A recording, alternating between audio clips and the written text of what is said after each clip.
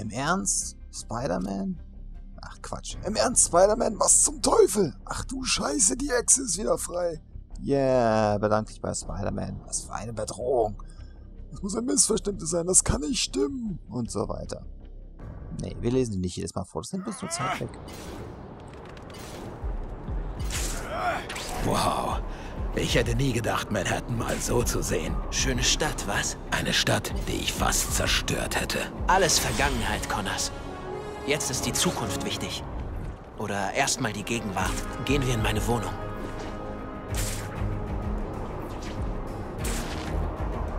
Instance Wohnung, mein Guter.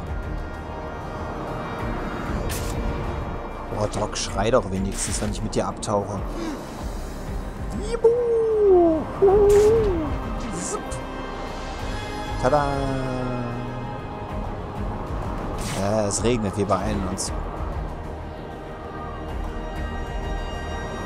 Nein, Netzsprint funktioniert nicht mit dem Typ auf dem Rücken. Ah, da vorne am Rand.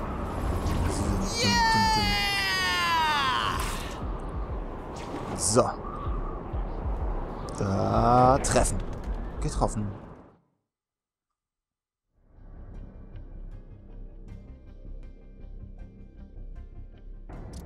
Ich hatte recht. Habt ihr die Nachrichten gesehen? Spider-Man haut die Echse raus. War super. Verstehe nicht, wir hätten doch nach Beloit gewacht. Ach so, es war Beloit, nicht Ravencroft. Habe ich jahrelang Mist erzählt. Tür-zu-Tür-Service ist nicht viel, aber ein ruhiger Ort zum Arbeiten, während Sie das Gegenmittel entwickeln. Wohnst du hier? Machen Sie Witze? Ich könnte mir hier nicht mal den Schrank leisten. Ich hüte nur das Haus über den Sommer. Es gehört Stan, einem alten Freund meiner Tante May. Also ich weiß ja nicht. Die andere Option ist die Rückkehr ins Echsenlabor, in der Kanalisation. Das hier reicht. Wo sollen wir das Labor aufbauen? Hier drüben. Ich schätze, wir besorgen erstmal die Ausrüstung für die Arbeit am Gegenmittel. Da ist der Computer. Etwas alt, aber er läuft. Ein paar Bücher als Referenz da drüben. Da ist auch eine Kopie von Spleiß des Lebens bei. Und der Fernseher. Schätze, wir sollten sehen, ob wir es in die Nachrichten geschafft haben. Und waren nimmer. heute schockiert, als Kurt Connors die Echse persönlich aus der Beloit Nervenheilanstalt floh. Hilfe Oh. bekam er vom selbsternannten Ordnungshüter Spider-Man. Es gibt kein klares Motiv für den Ausbruch. Die Polizei hat eine stadtweite Suche nach diesen extrem gefährlichen Flüchtigen gestartet. Zurück zu unserer Hauptstory. Anscheinend schon. Fantastisch. Jetzt halten sie dich für den Schurken, Peter. Das ist alles meine Schuld. Doc, wenn wir beide ein Heilmittel entwickeln, werden wir Helden sein. Ich ruf Gwen an und schau mal, was los ist. Warte, wirst du es ihr sagen? Das, Das muss mir? ich. Noch ein weiterer Grund für das Gegenmittel, was? Also, was brauchen wir, um ihr Labor einzurichten? Zunächst mal meine Forschungsergebnisse. Die Daten sind auf einem Tablet mit einem Ouroboros-Zeichen gespeichert. Es wird nicht leicht zu finden sein. Kein Problem. Ich bin schon bei Oscorp reingekommen. Ich schaffe es wieder. Peter, sei vorsichtig. Wenn Oscorp meine Arbeit heimlich fortgesetzt hat, wissen wir nicht, was uns erwartet. Das ist nicht dasselbe Serum, das mich verändert hat. Es ist jetzt ein Virus. Das habe ich gehört. So, bereit, Gott zu spielen? Du erinnerst mich an ihn. Deinen Vater. Das ist Gwen. Pete, Gwen, schön, dass es dir gut geht. Hör zu, ich bin gerade bei Connors. ich weiß, Peter. Alle wissen es. Du hast ihn aus dem Gefängnis befreit? Es ist eine Psychiatrie. Bist du verrückt geworden? Du weißt, was Connors dieser Stadt angetan hat. Er hat dieses Problem erst erschaffen. Und er kann ein Gegenmittel entwickeln. Das ist nicht die Echse. Das ist Dr. Connors. Kann er meinen Vater zurückbringen? Gwen, Ich vertraue dir, Peter. Aber ich kann ihm nicht vertrauen. es tut mir leid. Ich hatte keine Wahl, aber er ist der Schlüssel, dir zu helfen. Und ich möchte, dass du seine Forschung für mich findest. Ich kann nicht. Dr. Smythe hat sie in die Oscorp-Archive geschickt. Halt nur noch ein bisschen durch. Ich bin unterwegs. Beeil dich, Pete. Ich weiß, dass wir unter Quarantäne stehen, aber wir sind wie Gefangene. Smythe sagt, er arbeitet an einer Lösung. Ich hol dich da raus, Das Gwen. hoffe ich. Gwen hat viel mitgemacht. Ich habe ihren Vater ermordet, Peter. Sie haben niemanden getötet. Es war die Echse. Ich möchte dir glauben. Wir müssen Gwen überzeugen. Wo sind wir?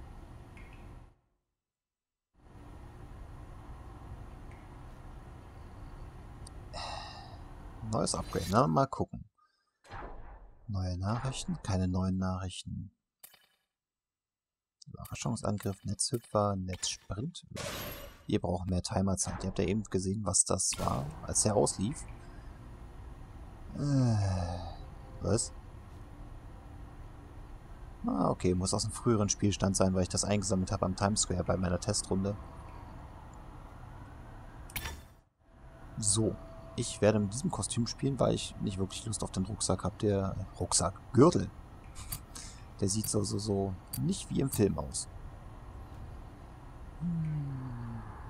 Und ich würde mal behaupten, an dieser Stelle werde ich auch erstmal die erste Pause machen, weil das nur eine kurze Aufnahme ist, damit wir überhaupt mal anfangen können und nicht noch eine Woche warten müssen. Also würde ich mal an dieser Stelle sagen, tschüss und bis zum nächsten Mal. Gwen und die Wissenschaftler stehen noch unter Quarantäne. Sie kämpfen gegen die Mutation durch das Artenkreuzungsvirus. Mit Gwens Hilfe erfährt Spider-Man, dass Connors Forschungsdaten im Archiv von Oscorp gelagert werden. Aber nicht mehr lange. Und damit herzlich willkommen zurück zu The Amazing Spider-Man. Mir fällt gerade auf, ich wollte noch kurz was nachsehen. Verdammt. Äh, genau, Helligkeit anpassen. Ja, durch die kleinen Updates auf meiner Grafikkarte ist es wirklich etwas dunkel geworden beim letzten Mal. Ich bitte das zu entschuldigen, aber jetzt können wir auch gleich weitermachen. Ja, ist gut. Auf, auf und davon. Zur Stadt. Peter, warte. Was sind das für Dinger? Ach ja, an denen habe ich gearbeitet, bevor das Ganze losging.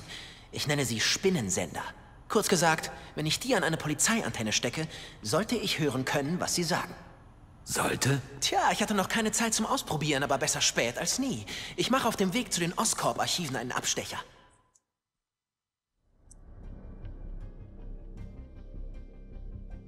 Ja, den Text hatte ich eben schon.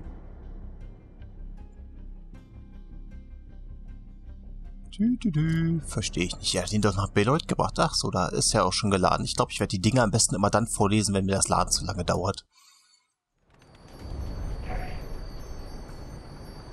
Ein Turm. Und hier sind die angesprochenen Was Comics. ist das?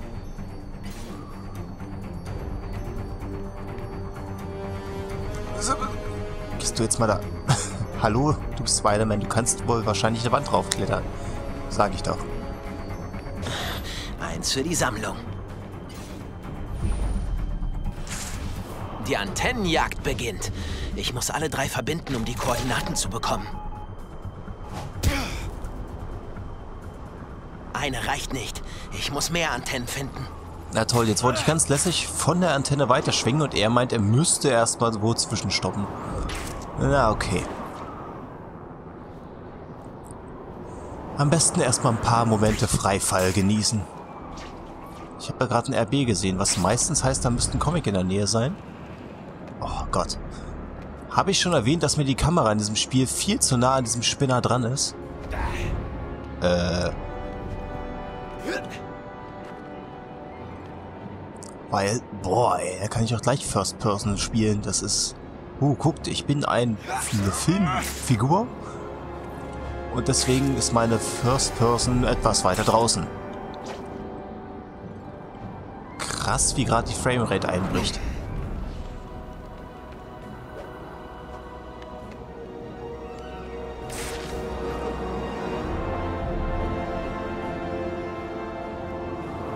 Äh, nee, das geht so nicht weiter.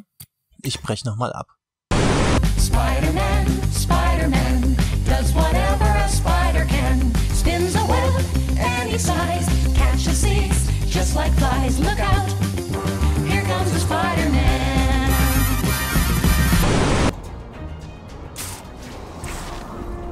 Da ist ein Comic-Heftlein und ich habe es verpasst. Dafür bin ich ganz stylisch auf dieser Flagge gelandet.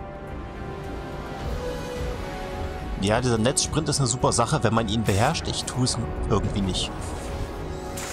Ich bitte auch zu entschuldigen, dass ich das nicht tue, aber ich glaube, ich werde es auch, hier. Ich glaube, ich werde es auch nie lernen. Zwei Antennen.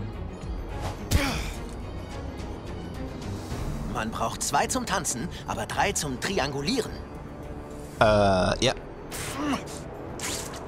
Die Frage ist nur, wer will heutzutage noch, wer will heutzutage noch triangulieren?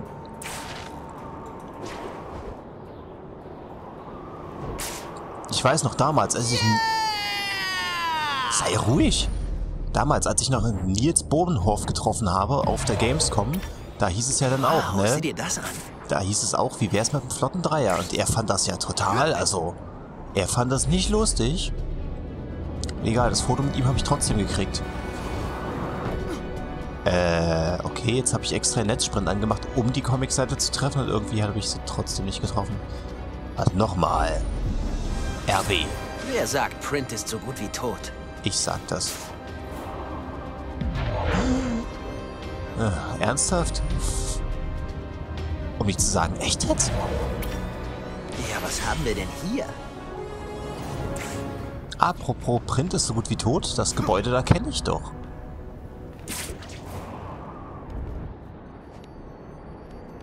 Das ist witzig, es steht sogar an der Stelle, wo es im nächsten Spiel auch stehen wird, wenn ich mich dann an diesen einen Screenshot erinnere. The Daily Bugle. Übrigens auch eine sehr schöne Viralkampagne. Könnt ihr bei uns im Blog nachlesen, was sich da jedes Mal ausgedacht wird. Ein bisschen zu viel Schocker in letzter Zeit, aber meine Güte. Besser zu viel Schocker als gar nichts. Wobei diese ganzen Mr. Hutchins Zwischenrufe nerven. Oh, der Hubschrauber ist natürlich jetzt sehr praktisch, weil es gibt ein Bild vom zweiten Spiel, wo der Hubschrauber hier lang fliegt, Spider-Man an ihm dranhängt, man da das Daily Bugle Gebäude sieht und da den Oscorp Tower, der übrigens im nächsten Teil viel hübscher aussieht. Und wenn ich mich recht erinnere, da unten ist diese tolle Dings, da muss hier doch noch was anderes in der Nähe sein. Und zwar Was ist das? Noch eine Antenne? Super. Okay, dann war es eine der anderen Antennen. Schade.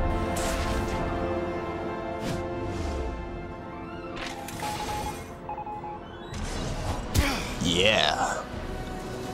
Spinnenhotline in Betrieb. Wie kann ich Ihnen helfen? Ich finde übrigens... 1020, möglicher Diebstahl gemeldet. Over. Bitte komm! Ich wiederhole. Riesige, nashornartige Kreatur klettert auf das Dach des Parkhauses. Ein Nashorn, was? Dann sollte ich mich lieber beeilen. Kein Spider-Man-Spiel ohne Rhino, ich sage es immer wieder. Gut, Nashorn, ja. Markieren wir mal. Ich wollte sagen, die Brustspinne ne, aus The Amazing Spider-Man fand ich super. Ich meine, gut, ist nicht die klassische Spinne, aber sie fügt sich so schön ins Kostüm ein. Möglicher 1022, täglicher Angriff gemeldet. Over. Jetzt weiß ich, was Sie vorhaben.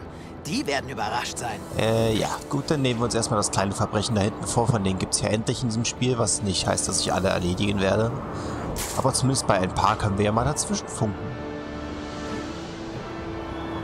Willst du zahlen oder sterben? Nein, ich habe alle Forderungen erfüllt. Das muss ein Irrtum sein. Wo ist das Geld, Schwachkopf? Hä? Bitte, ich wollte zahlen. Wirklich. Ah, da unten. Kann ich irgendwas Großartiges machen? Nee, na dann. Okay, du bist jetzt bestimmt müde, oder? Tu dir selbst einen Gefallen und falle um. Also los!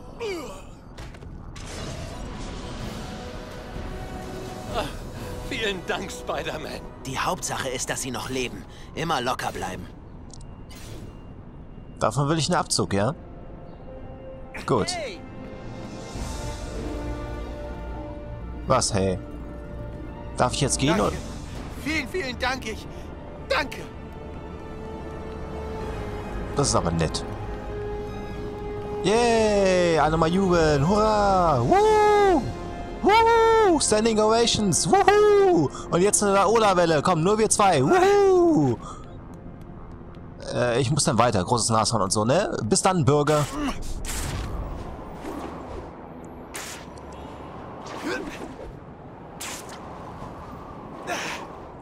Yippie! Und vorbei.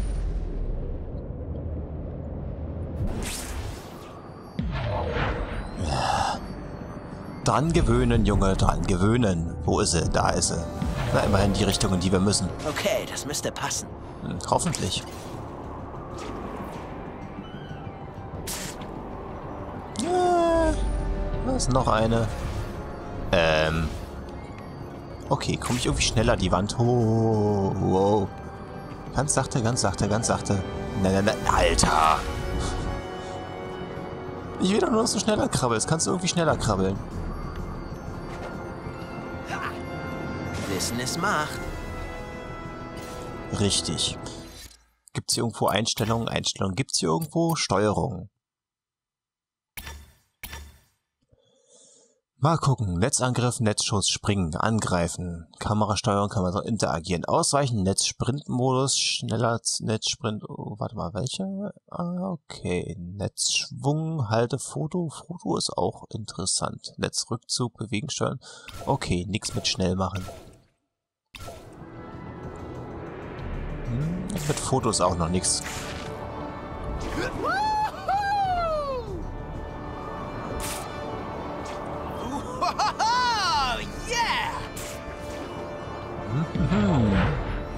Gott, bin ich doof. Aber das war ein Netzsprint, wie man ihn eigentlich anwenden sollte.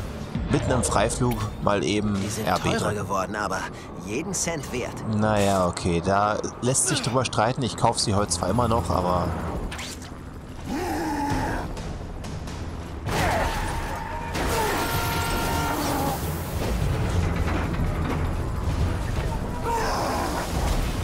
Wünscht sich noch jemand den schwarzen Anzug zurück? Hallo, Großer! Uah. Äh, okay, falscher Fuß. Nochmal.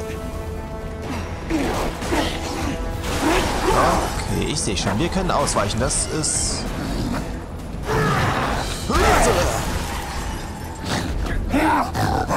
Die Trucks sind schwerer als die Autos. Aber ob das reicht? Ah, Okay. Plan. Plan, Plan, Plan, Plan, Plan. Komm her. Das Glück klopft nur einmal. Ich klopfe dafür so oft es geht. Und zwar immer auf die 12. Wow. Lass uns bloß keinen Fetischfilm hier draus machen, nur weil ich dir mal kurz auf den Hintern gebe, ja? Ah.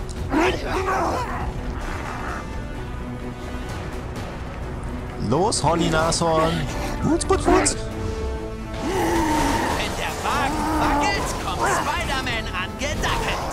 Da, da. Ja. Hey. Junge, hör auf mit Sachen nach mir zu werfen. Habe ich nicht gesagt, du sollst deine Nase nicht in fremde Wagen stecken? Böses Nashorn.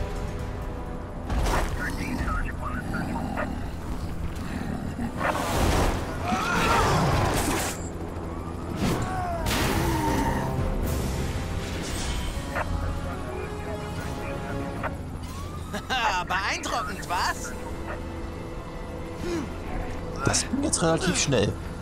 Irgendwie so unerwartet. okay, als nächstes ist das Oscop-Archiv angewählt. Ich bevorzuge aber erstmal, bevorzuge ich überhaupt irgendwas?